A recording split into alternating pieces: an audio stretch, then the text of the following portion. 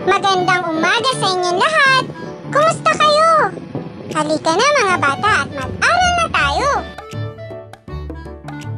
Nitong mga nakaraang aralin mga bata, pinag-aralan natin ang mga patinig na ito. Ang patinig A, A, A, A. Ang patinig I, E, E, I. Ang patinig I, I, I, I. At ang patinig O, O, O, O. At ngayon naman mga bata, pag-aaralan natin ang patinig U. U, U, U.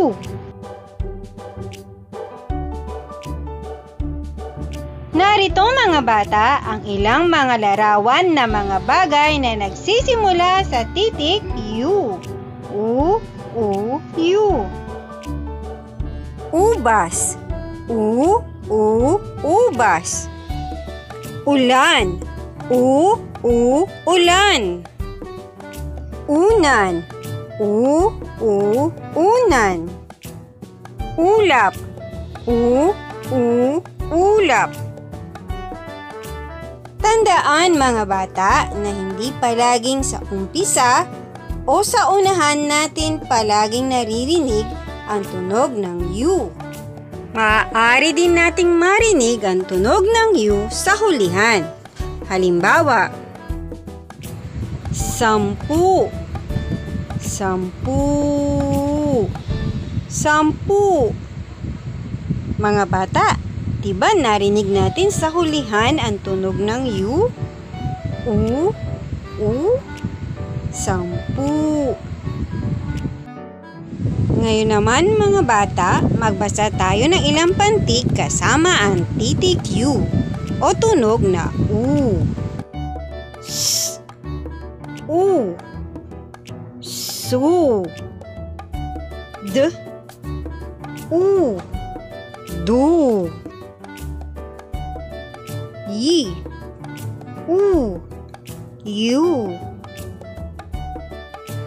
Para sa ating pagsasanay, makinig ng mabuti.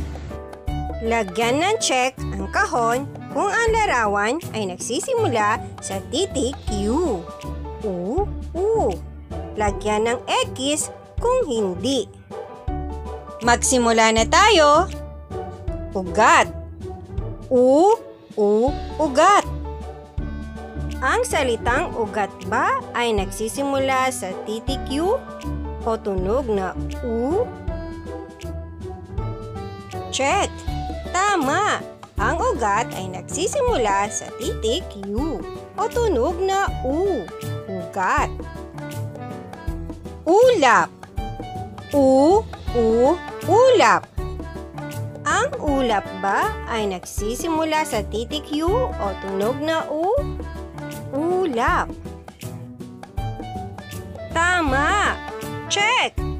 Ang salitang ulap ay nagsisimula sa titik U o tunog na U. Ulap. Kahon. Kahon.